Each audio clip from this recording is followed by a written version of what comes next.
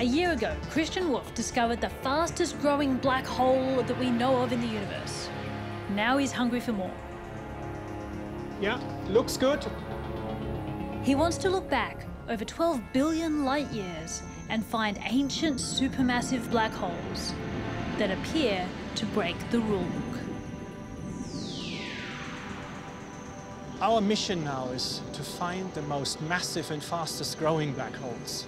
We want to figure out how black holes can grow and how they first formed at the beginning of the universe, in the early stages of the universe. And that means finding the fast growing ones and the really massive ones because they are the hardest ones to explain.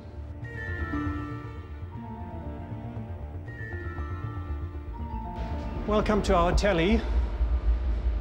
It's a 2.3 meter sized telescope. That means the mirror inside the telescope has over two meters of diameter. The whole structure is over 10 meters tall. But we can look for 13 billion light years with it.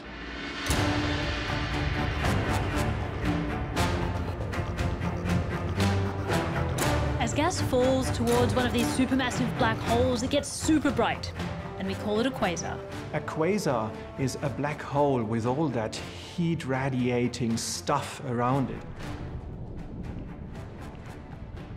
A, a range of storm clouds that are being swirled around. There's a lot of energy there. There's a lot of radiation coming out that we can study. It's Christian's ability to recognize potential black holes amongst the vast number of objects in space that makes him so successful. We can see all the objects that are there. We know the positions and the brightness and the colors. Then we pick out our candidates for these supermassive black holes, and then we point this telescope at them.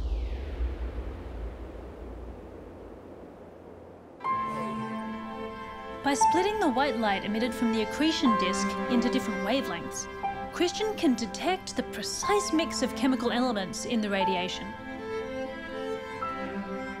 Every chemical element, oxygen, iron, magnesium, leaves characteristic fingerprints. It absorbs the light at specific wavelengths. We'll be able to recognize these fingerprints or other features and then see, ah, now we know we're looking at. We're looking at this type of a star, or actually, wait a minute, we are looking at a fast-growing black hole with its accretion disk around and with storm clouds that are glowing in all sorts of elements and so on. And to everyone's surprise, our camera's barely rolling when the very first object they look at seems to have that promising chemical fingerprint. As you see, that's basically no, no signal, and that's all noise. That's the sky. Yeah, that's just the sky. Hmm. However, oh, if we actually do a proper extraction, we see that. Right, was I allowed to see this? The night has just started, and they've already found their first supermassive black hole. Come on, that's a beauty.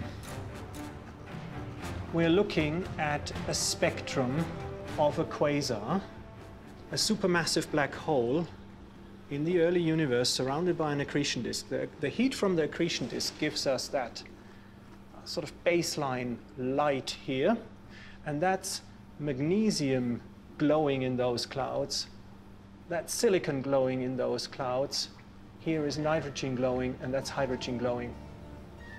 There's oxygen there as well. These elements all apparently formed very early in the universe. The first hit. This is what we came for. Which one is that from the list? The first one that The first one? that you said was interesting. One out of one. I'm just stunned. Sorry.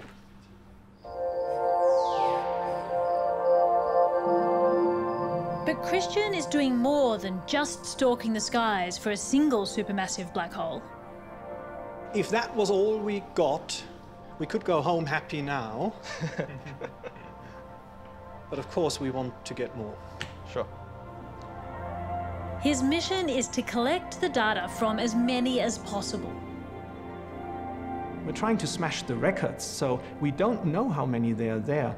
We have no expectation of how many we are likely to find, so each one counts and each one makes a difference. The reason? to solve the complex problem of how they got so big. I wonder how they have formed, and physics doesn't provide a way to do that within what we know. So I want to map out the demography of those black holes and their early growth, and then we can infer from that what exactly is the problem that we have to solve here. The problem is likely bigger than we have acknowledged so far. The answer lies in two possibilities that could change what we think we know of the universe forever. Either they were formed in the Big Bang, if we find that they've been growing slowly and they started out very massive, very close to the Big Bang, then we have a rather profound mystery here.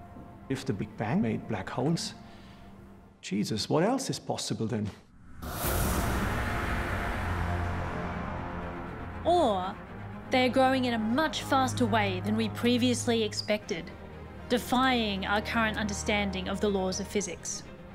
These things are growing faster than what we think we see, and also faster than what we think physics allows. And to solve that mystery, Christian and his students have to do what they do best. Definitely. Yeah, it is another one. Look at these bumps. What is that? Oh, They've found another supermassive black hole, and it's even bigger than the first.